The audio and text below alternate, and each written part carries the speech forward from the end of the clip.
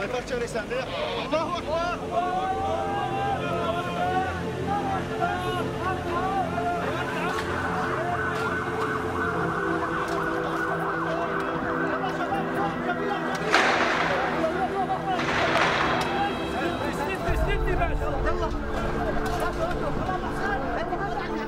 والله القصف ال- الهمجي المتكرر والأموات اللي عم نشوفها قدامنا والجثث المحروقة والمناظر اللي ما بقى يعني يعني ما بقى البشر تحسن تطيق هالمناظر اللي عم نشوفها. مي مرصودة أو الطيران ال 24 ساعة بالسماء. يعني حتى إذا بدنا نطلع ننزح في مخاوف كمان. والله مخاوف إنه نحن ماشيين بالسيارة ماشية فينا الطيران فوقنا انضربت سيارة جنبنا احترقت. يعني خفت كتير لفيت ولادي من خوفي عليهم. والله المخاوف آه، هو الطريق اللي طلعنا منه هو كان شريان حلب الوحيد. آه، واللي واللي على طول راسدته الطيارة وراسدينه آه، المدافع وراسدينه آه، كل كل جيش راسده مرتاح. ومبسوط فيه بكل دقيقة أنت كنت عايش فيه شعور بشع إنه تتركه وتطلع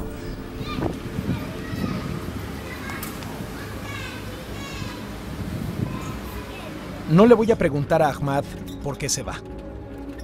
Una dictadura de 40 años, una guerra de 5, tres ejércitos, un grupo terrorista.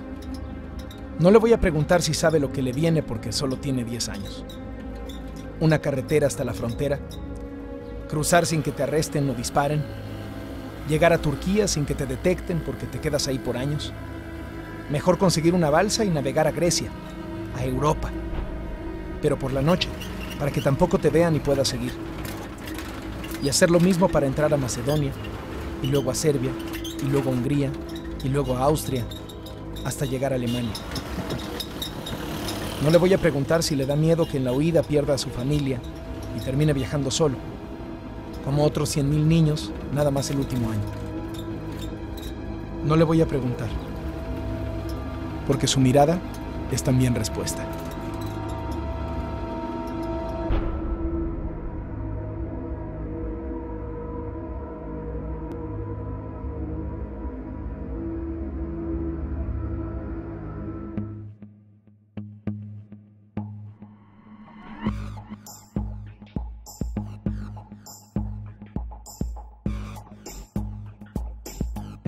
¿Por qué no acamparon sobre la pista? Es como si lo hubieran dejado libre porque les urge despegar. Todo lo demás está ocupado.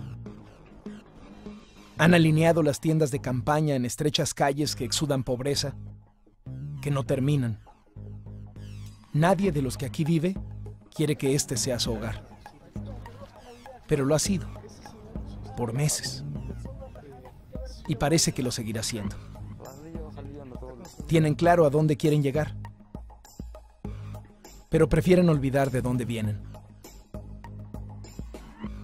Hamid Al-Jazz tiene 14 años.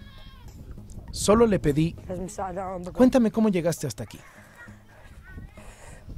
Nada más alcanzó a decirme, el Estado Islámico entró a nuestra ciudad y ya, se soltó a llorar, en un llanto que duraría demasiado.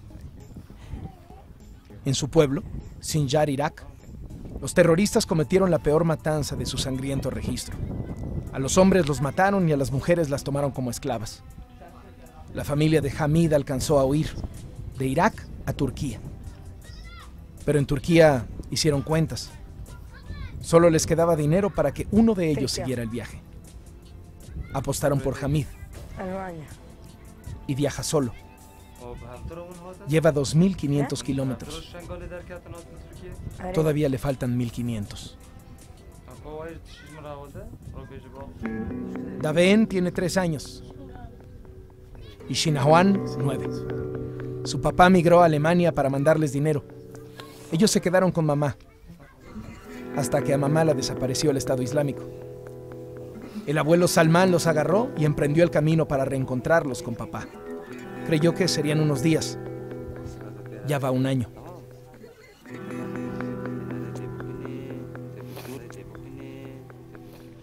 Resgar tiene nueve y no le funcionan bien los riñones. Lleva dos años tratando de que algún país lo acepte. Saitun dio a luz a Ometa en la huida. La mamá es iraquí, la niña es turca y nació mal del corazón. Necesita una cirugía. Asmaj, de 13, es de Siria. Y de grande quiere ser cirujana para curar a Omeeta.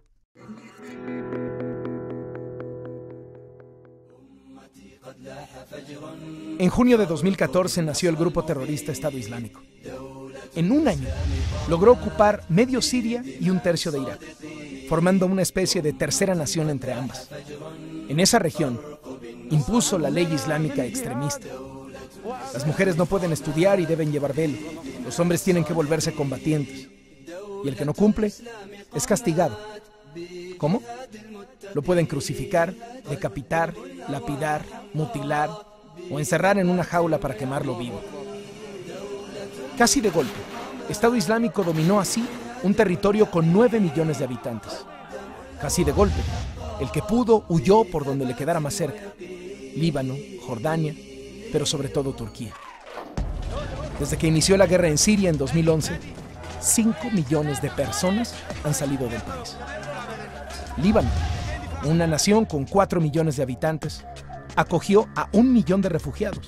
Hay un refugiado por cada cuatro libaneses. No pudo más. Líbano decretó un cierre de fronteras de facto. Nadie más entra si no tiene familia y una reservación de hotel de por lo menos mil dólares, 20 mil pesos. Jordania tomó a 600 mil, la décima parte de su población. El rey anunció el colapso de empleos, de infraestructura, de salud, de educación. Y Turquía. Por ahí pasaron más de 3 millones. Todos queriendo llegar a Europa. Pero no a cualquier Europa. Queriendo llegar a Alemania, Suecia, Francia, Gran Bretaña. No a Grecia, Bulgaria, Macedonia, Serbia o Albania. Y no solo por las condiciones económicas de las naciones. Es también que cada país cuenta con una política diferente para los refugiados. Suecia o Alemania les dan gratis casa por dos años, clases del idioma local, escuela para los niños, asesoría para conseguir un empleo. Los países pobres los dejan pasar, sí, y los abandonan a su suerte. El Tratado de Dublín, firmado por los integrantes de la Unión Europea, establece que el migrante debe aplicar para obtener el estatus de refugiado en el primer país al que entra y esperar ahí a que se resuelva su caso. ¿Por qué países entran a Europa? De Turquía, Jordania y Líbano, los que les quedan son Grecia, que no termina de salir de la crisis económica que puso a sufrir a todo el planeta, y Bulgaria, la nación con más miseria de Europa. Ante la expansión del Estado Islámico, a los primeros migrantes les abrieron las puertas. Tuvieron paso libre hasta Europa Central, hasta los países ricos. Como los países pobres no querían quedarse con los candidatos a refugiados, y los refugiados tampoco querían estar ahí, se olvidaron del tratado y les despejaron las fronteras. Hasta que en Europa Central dijeron, no más. Alemania exigió que se cumpliera el tratado, que los migrantes esperaran en el país de entrada y luego se repartieran entre todas las naciones. Si no, ya no los recibiría. Y entonces en cascada, Austria y Hungría empezaron a endurecer sus fronteras, luego Eslovaquia, también Serbia y Macedonia, como Albania y Bulgaria. En días cambió toda la política migratoria. Ya nadie los quería. Por el costo económico y por el miedo de que entre tanta gente en emergencia se colaran terroristas. De las puertas abiertas, Europa pasó al portazo. El año pasado, cuando inició la crisis de migrantes, se llenaron 1.300.000 solicitudes de refugio. Solo 300.000 personas fueron aceptadas. El resto quedó en el estatus de desplazados y tienen que esperar. En Grecia, en campamentos como Kavala, donde solo pudimos estar 45 minutos. El ejército que lo resguarda no nos permitió más. En ningún otro lugar sentimos tanto dolor en tan poquito tiempo. Con la excusa de la seguridad, los gobiernos han restringido el paso de periodistas a los campamentos de migrantes. Con el argumento de la protección a sus derechos, las organizaciones que trabajan en ellos también cierran las puertas. Pero los migrantes quieren hablar.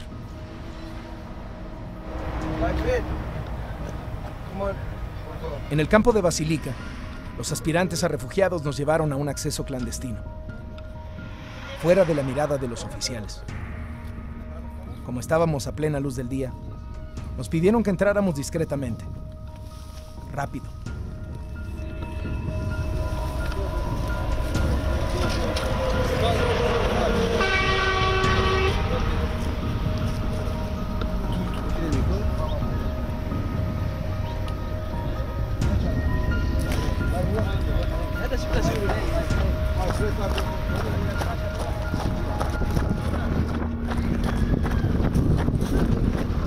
Esto encontramos adentro de esos viejos almacenes, convertidos en ciudad encerrada, hirviendo en el verano griego, una olla express en más de un sentido. Estamos adentro del campamento. Los refugiados nos han pedido entrar en contra de lo que quería la policía. La policía mantiene cercado este campamento. Los migrantes no quieren estar aquí y entonces por eso ellos nos dijeron que entráramos, nos metieron por un sitio que ellos han descubierto en donde la policía no tiene vigilancia, un punto ciego del campamento, y lo que nos pidieron es que entráramos aquí para que viéramos las condiciones. Ellos estaban más contentos en el campamento, en la Eco Station que le llamaban, pero fueron forzosamente removidos de ahí y traídos a este sitio. Dicen que existe hacinamiento, muestran los techos cómo están de lámina y eso hace que tenga muchísimo calor, que huele mal. Who speaks English? Can you tell us a little bit about the, the situation in this camp and The situation is like uh, I don't know how to tell you. Like uh, everyone, like you can see the let's, the let's people show me, like show me. the people all like uh, there is just distance just one meter between each tent. It's like a f- animal farm. This is not uh, the- a camp for the human. I don't know how to tell you, but we, uh, we used to live like uh, in Iko. It was like have a better better camp, but like now I don't know. You can see the children, the everything, uh, the women, every everything in here is dirty. Like nobody, until now, nobody care about the cleaning. Where are you from? I'm Syrian. Syrian. And wh- is this baby, wh- wh- when was it born? You know, can you ask her? Yeah. مرحبا خالد.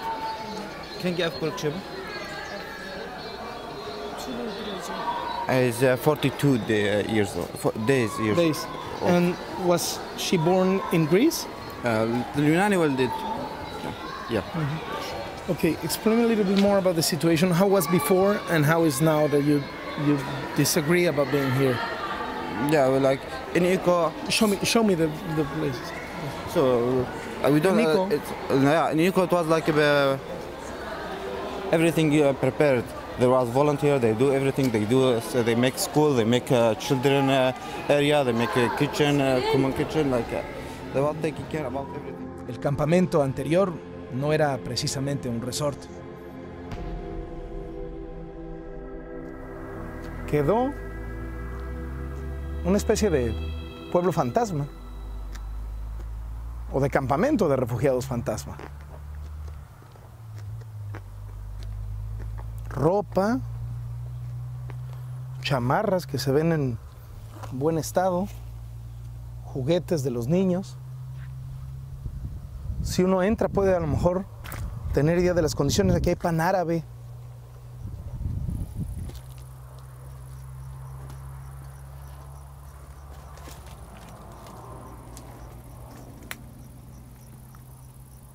restos de comida, basura.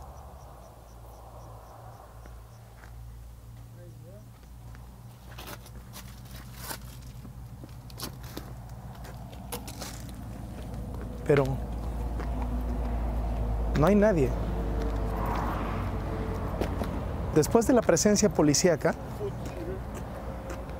fueron relocalizadas, esa bicicleta ahí, reubicadas las personas que vivían en este lugar.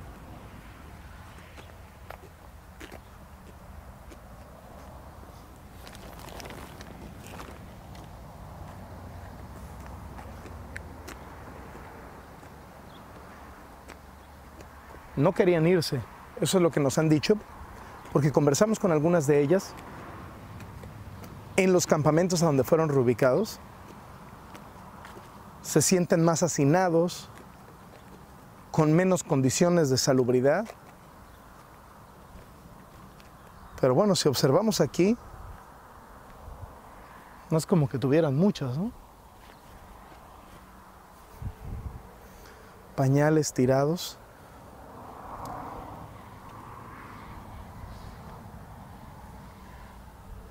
Uf. Imagínense lo que es vivir aquí un mes, dos meses, tres meses. Y cuando le digo vivir aquí es una familia allá, otra familia aquí, una familia acá, otra por allá, una más detrás. Seis familias en torno a este sitio.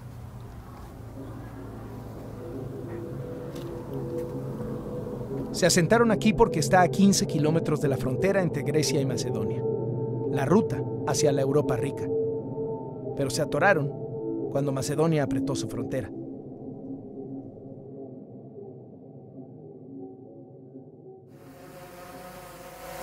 EcoStation. Así le llamaron los medios de comunicación, también los refugiados, a este lugar que solía albergar aproximadamente 2.000 personas. Quedó vacío después de la reubicación de todos ellos. 1.300, de acuerdo a las cifras oficiales, se fueron de aquí hacia otros campamentos. 700 se perdieron en el bosque y solo quedó este campamento fantasma.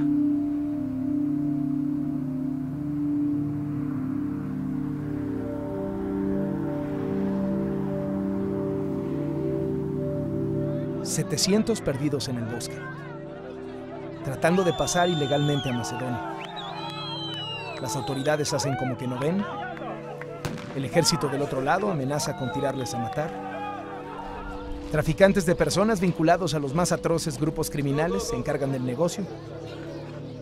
Y, por si faltaran similitudes, ciudadanos armados que van a la casa de quienes vulneran su seguridad. Lefteris Kiriblidis vive de producir artesanalmente bebidas alcohólicas.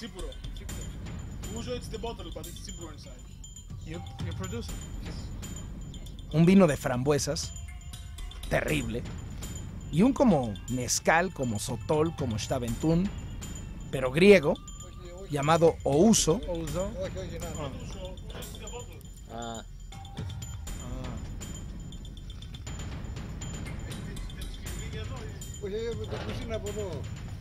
Me dice que si quiero entrevistarlo, yo también le tengo que entrar.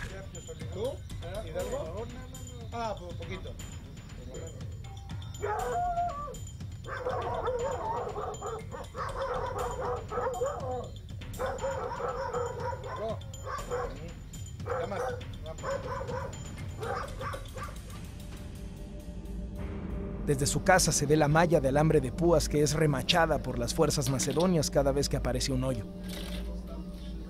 Lefteris sale de cacería.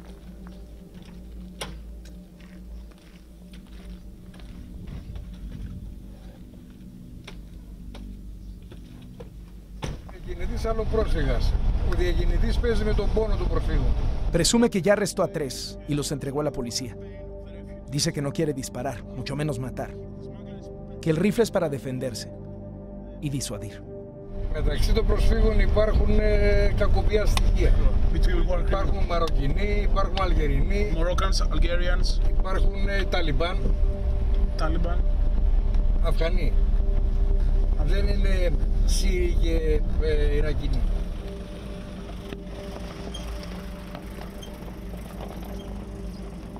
Clava sus ojos en el camino como un viejo sabueso. De golpe, detiene su camioneta. Unas huellas. Me dice que están frescas. Que un grupo acaba de pasar por aquí.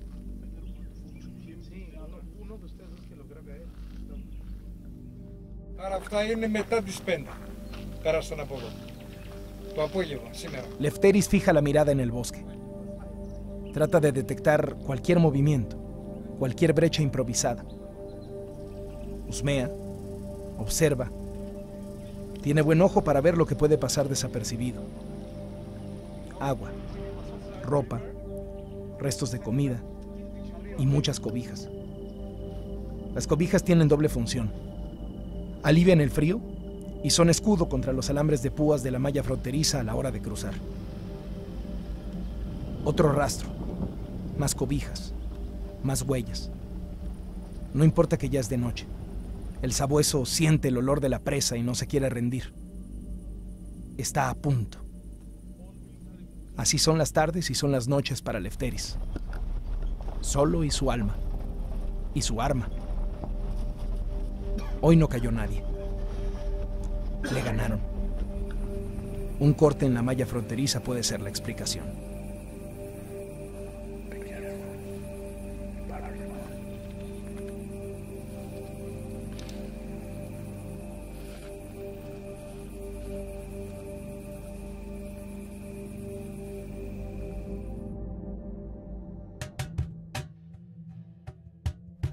كنا نشتغل. العالم ما عم تتحمل تبرد بسوريا من اثر الحرب والضرب وكل شيء. هذا العالم تهرب من عند تنظيم داعش تيجي لهون. ما في مطرح تنام إجباري راح يطلعوا تركيا. فنحن اشتغلنا على المبدأ تنفوت العالم. طريق نشتري على الطريق من عساكر وشيء بالفترة الأخيرة صعبوها كثير بعد ما تقدم داعش لهون. Su tío era el jefe de la organización. 800 dólares para recoger una persona en Siria y entregarla en Turquía. Unos 15 mil pesos por cabeza. 25 personas diarias en promedio. Abbas se encargaba de recibirlos en la frontera, correr con ellos el medio kilómetro de cruce ilegal y encomendarlos al siguiente eslabón de la organización. وفي ع- وفي عساكر لا ما بيرضوا في عساكر عم بيضربوا كانوا عم بيضربوا على الصايب يعني يعني عدة عالم من ضمنهم ابن عمي كان على التيل كمان انضرب صاب انقتل كمان كان عم فوت عالم انقتل عن طريقة عسكري قال له ادخل طريق مأمن فات لجوا طلع غير عسكري ضربه Abbas añora los 100 dólares diarios, casi 2 mil pesos que ganaba como pollero. En su último cruce, decidió migrar él mismo. Ahora gana el equivalente a 8 dólares diarios, 150 pesos. Haciendo sandalias en Gaziantep, Turquía. Un lugar cuya industria del vestido se ha vuelto muy próspera.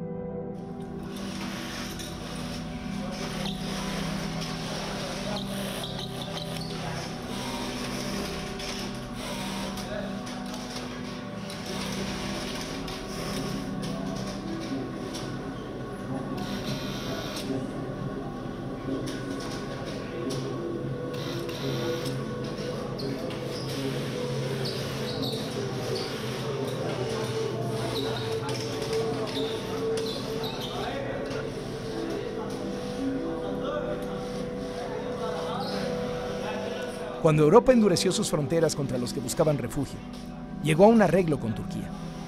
Quédatelos tú y te pagamos el equivalente a 150 mil millones de pesos. Y además, de los que ya llegaron a Europa, por cada refugiado que aceptemos, te devolvemos a otro. Sirios, iraquíes, afganos, atorados en Turquía. Con permiso para estar ahí, pero sin qué comer.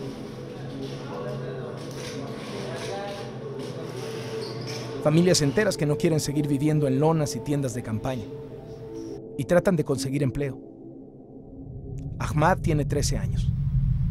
Su papá es sordomudo. Su mamá lo cuida. Solo él y su hermano Ramús trabajan en una fábrica de pantalones. 800 piezas al día. 50 pesos diarios. Es brutal lo que vive, pero es peor lo que vivía antes.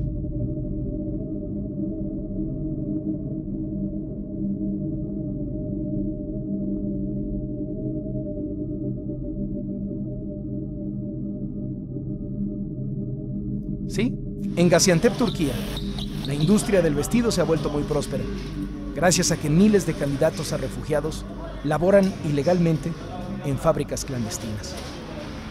Están escondidas camufladas en la ciudad, en edificios de pisos altos, a los que se accede entre escaleras que parecen no llevar a ningún lado.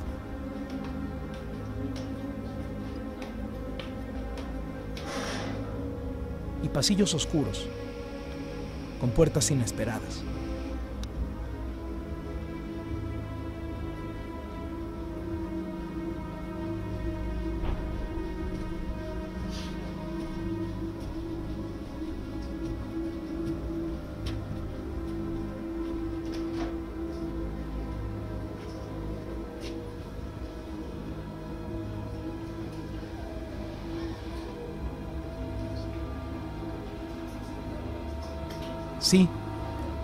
Gaziantep la industria del vestido se ha vuelto muy próspera gracias a los migrantes que son mano de obra barata. Manita de obra barata.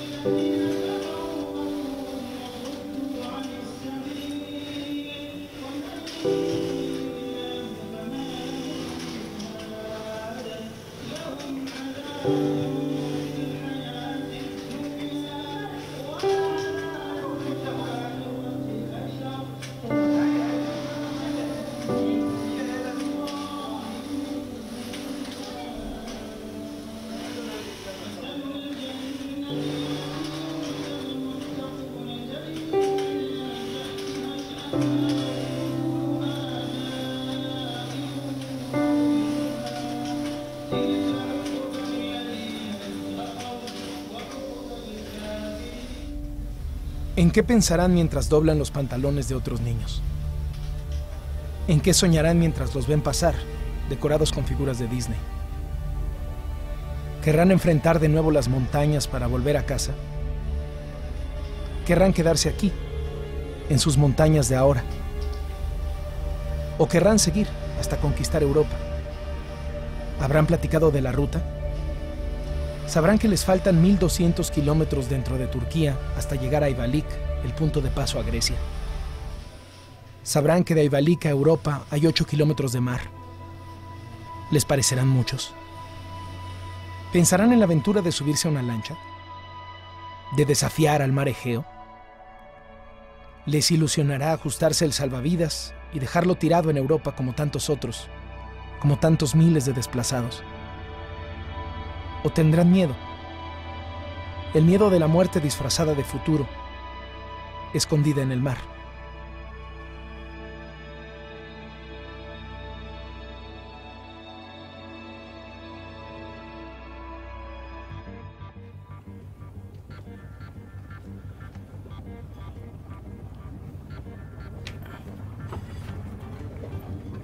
Thanasis Marmarinos está nominado al Premio Nobel de la Paz Pescador desde adolescente, dejó de tirar el anzuelo para extender los brazos. Relata que al desatarse la crisis humanitaria entre julio y octubre de 2015, el gobierno griego nunca apareció. La población de Lesbos se encargó del rescate. Λέγομαι Θανάσης Μαρμαρινός, είμαι ψαράς και είμαι από εδώ, από εδώ, από τη Μητυλίνη, από τη Σκαμιά. Είμαι αυτός που έχει βοηθήσει ένας από τους ψαράδες στους πρόσφυγες, πολλούς πρόσφυγες. Στους κόσμους στη θάλασσα και παιδάκια και που λιμπάνε και τέτοια. Πιο συγκινητική στιγμή αυτό αυτή δεν έχει. Ένα βράδυ, γύρω στις 11 η ώρα που γύρναγα από τη δουλειά με αέρα, είχε μποφόρ και πέφτουμε σε μια βάρκα βουλιαγμένη τελείως, έτοιμη να βουλιάξει, να στα στο όριο και είχε 18 παιδάκια μέσα. Και τα πήραμε το ζόρι με, με αποτέλεσμα, όπως σας είχα πει και προηγουμένως, που είχαν πιαστεί και οι μεγάλοι πάνω μέχρι να μην βουλιάξουν. Πήρα τα παιδιά, τα γλίτωσα και προσπαθούσαν να ήμουν και αυτοί απάνω. Εν τω μεταξύ η βάρκα αυτή δεν χωράει παραπάνω από 15 άτομα. Ευτυχώ που ξε, τους έφυγα από κοντά, πήρα τα παιδιά, το καταλάβαν βέβαια και αυτοί και το ξεκολλήσαν πάνω από τη βάρκα, αλλά μετά En su lancha, rescató 77 botes de migrantes a punto de hundirse, entre 50 y 70 ciudadanos por bote. Salvó a 4.500 personas aproximadamente. Hubiera querido más. Ύστερα συνηθίσαμε πια. Του βλέπουμε συνέχεια αυτό μετά. Παιδάκια από, από κρεοπαγήματα να πεθαίνουν. Σε μια μέρα φέρανε μπαγωνιά φέτος το χειμώνα. Ήταν ένα παιδάκι 5 χρονών πεθαμένο, παγωμένο και μετά από λίγα μισή ώρα φέρανε μια κοπέλα 35 χρονών και αυτή παγωμένη. Βγαίνανε με τις βάρκες έξω παγω- παγωμένα, πεθαμένη.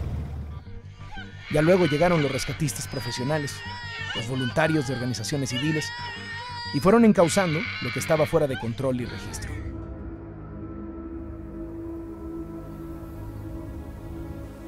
el Valle de los Chalecos.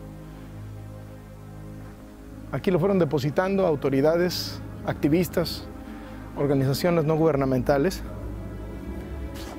y se volvió una especie de símbolo de la tragedia. El monumento mismo a la migración,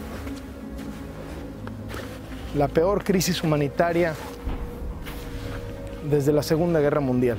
Ciertamente la peor de este milenio. Estamos subiendo nada más para que a través de la imagen puedan darse una idea del tamaño de este depósito de historias, de este conjunto de recuerdos que muchas veces fueron vida y salvación, pero muchas veces fueron destino de muerte.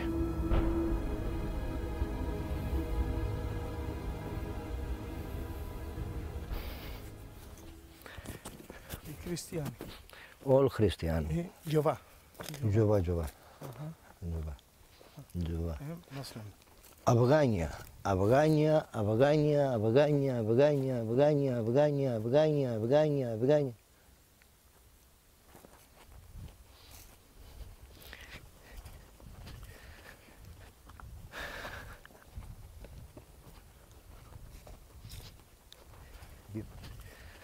Here and here. Mama, to bambino, one, one years, two years. Here. Here no, Cristiano. Cristiano, No, Cristiano, Cristiano, Cristiano. This. Afghania, Afgania. Afghania, before.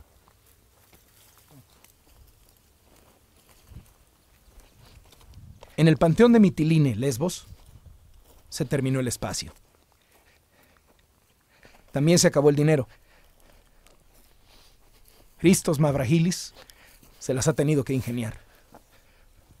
Primero hizo las tumbas de los migrantes con tabicón, luego solo le alcanzó para montones de tierra, y al final, ya ni eso.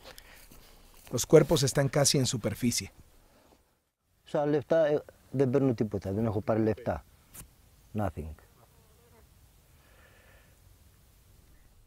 El cementerio de San Pantaleón huele a muerto y el sepulturero luce agobiado. Solía ser contra la ley enterrar musulmanes en un cementerio cristiano. La realidad se impuso. Christos fue acomodando los cuerpos como Dios le dio a entender, en el último rincón que le quedaba. Y como manda el Corán, orientados hacia la Meca, la ciudad sagrada del Islam. Para las de los niños consiguió unos muñecos de peluche.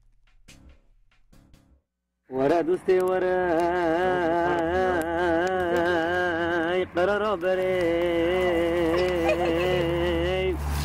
رندي ورا ظلمني وراي لي قرار بري زيدا زيدا ابو علوان وعمري خوي جان شو مبا شوفيت انقذنا تجيرو بي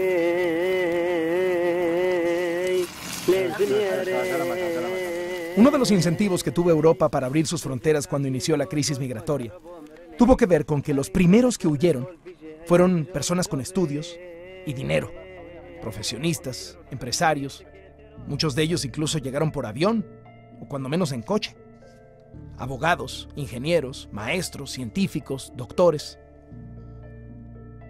Rezan Rashid se tardó en salir. Le faltaba un mes, un mes para graduarse de radiólogo. Me cuenta que estudiaba en Latakia, Siria.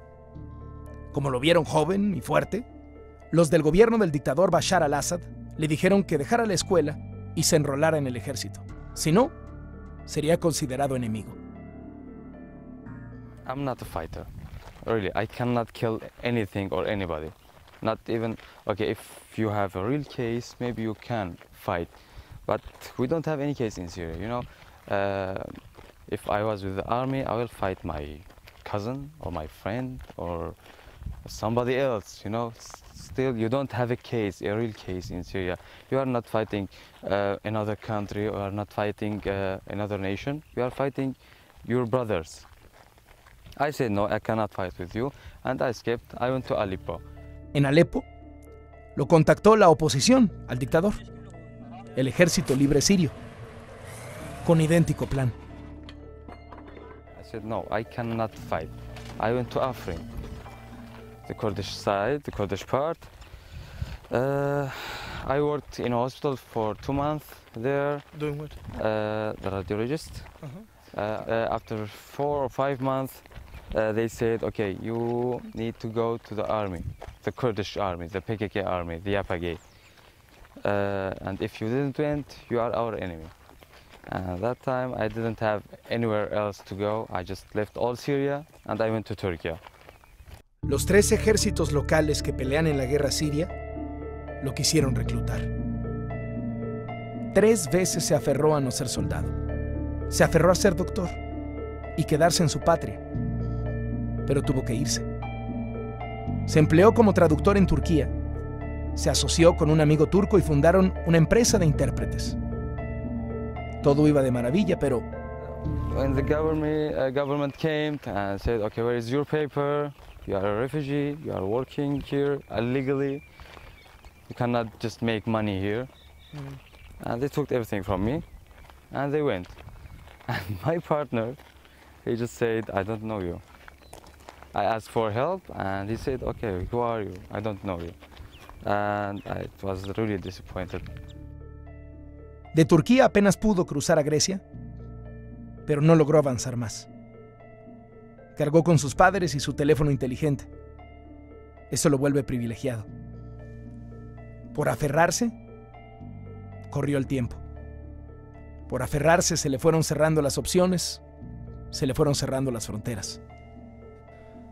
Por celular chatea con su novia y su hermano. Los dos están en Alemania. Rezan ya llenó sus papeles, pero no le han respondido si le otorgan el estatus de refugiado. No se ve para cuándo. Sobrevive en un campamento en Salónica, Grecia, instalado en un viejo cuartel de la Fuerza Aérea. Ahí espera, pero no pierde el tiempo. Rezan nos grabó estas imágenes. En el campamento, enseña inglés a niños, jóvenes y adultos migrantes. Las clases derivan en sesiones de autoayuda.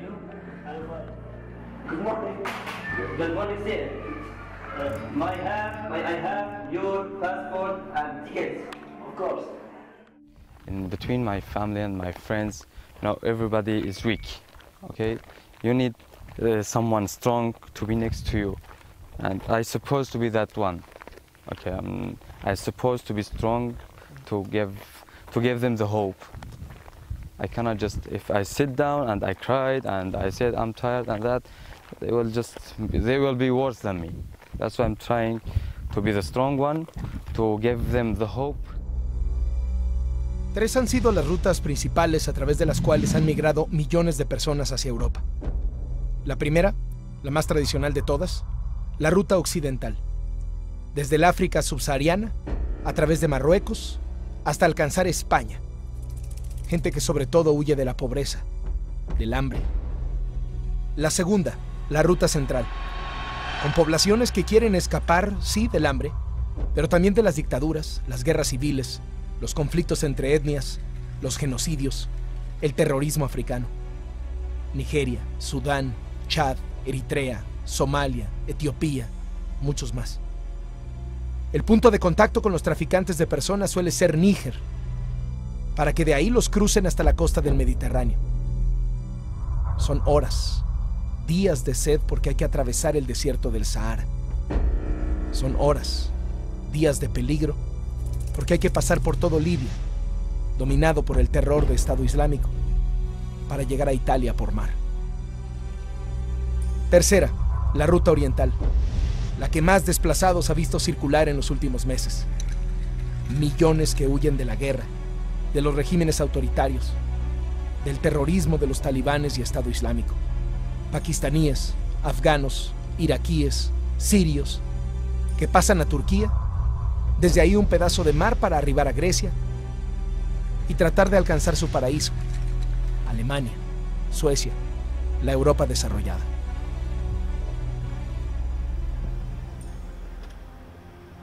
Vincenzo Morello también es doctor. No es de los que huye, es de los que recibe.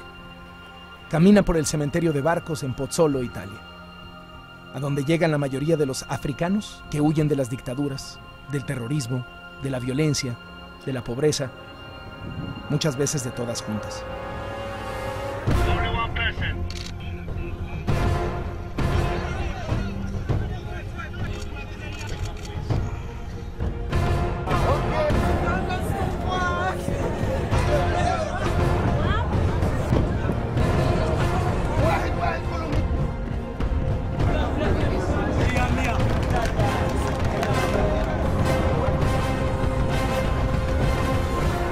Doctor Morello lleva 14 años atendiendo migrantes. En su celular y en su computadora guarda fotos de los mejores y peores momentos que le ha traído la marea. Pero destaca una, con un joven de Somalia.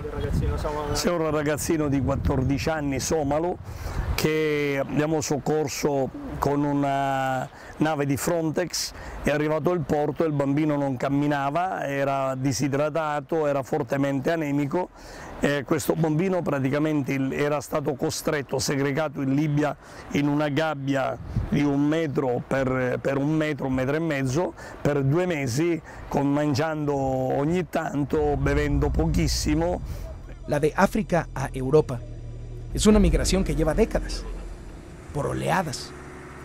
La más reciente, cuando los del África Negra vieron que a los árabes los estaban acogiendo en Europa. Aprovecharon también la inestabilidad política en Libia. El régimen del dictador Gaddafi funcionaba como un muro antimigrantes. Él cayó en 2011, pero nadie subió al poder. Hoy, a Libia se la disputan los fieles de Gaddafi, los que lucharon contra él y los terroristas de Estado Islámico. En Libia no hay gobierno real. Se derrumbó aquel muro. Y los traficantes de personas están desatados. Mas en Italia están acostumbrados a ello. Este es el campamento de Mineo. Un fraccionamiento construido por el gobierno de Estados Unidos para sus soldados desplegados en la base militar de Sicilia que abandonaron hace cinco años. Aquí no hay tiendas de campaña ni caminos de tierra. No hay baños de plástico ni dispensarios de agua que parecen bebederos de caballos, como en Grecia. Pero sí hay historias de terror.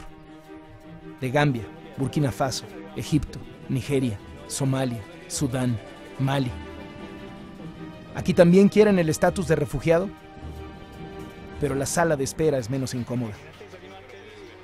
De lo que se quejan es de que no hay televisión para ver el fútbol.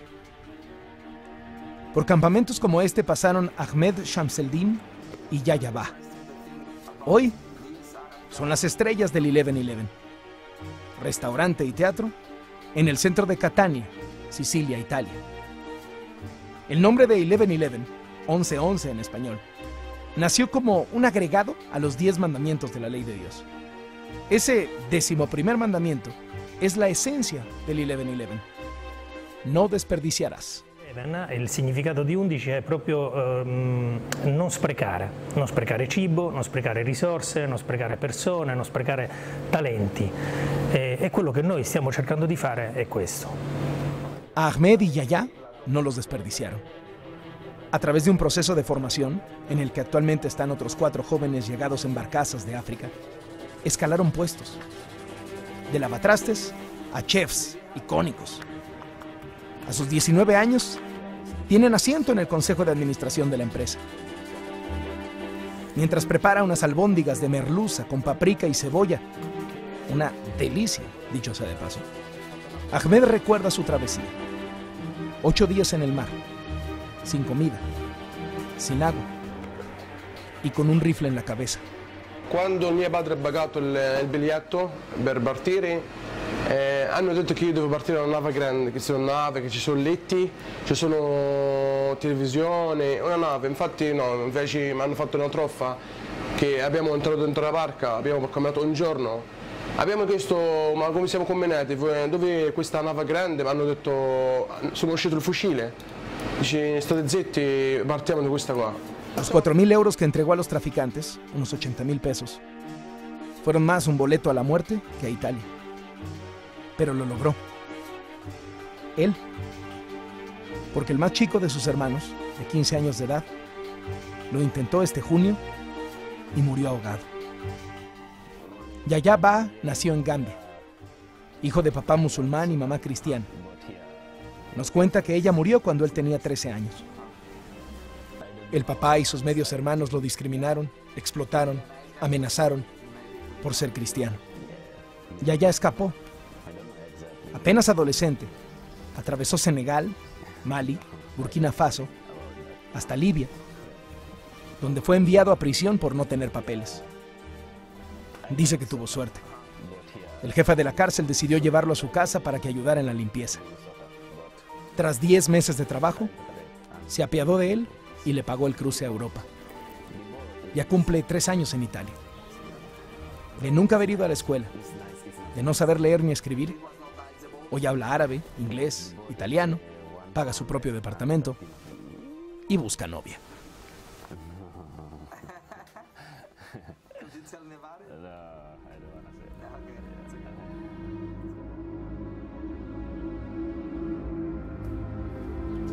No le voy a preguntar a Ahmad si el futuro viene en lona y malla y hambre,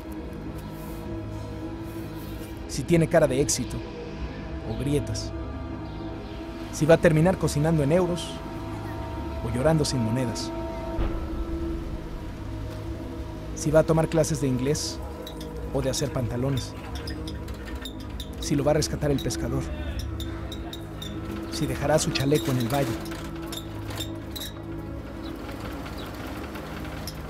No le voy a preguntar, porque por ahora está huyendo de la muerte. Y parece que esquivarla toma más tiempo del que imagina.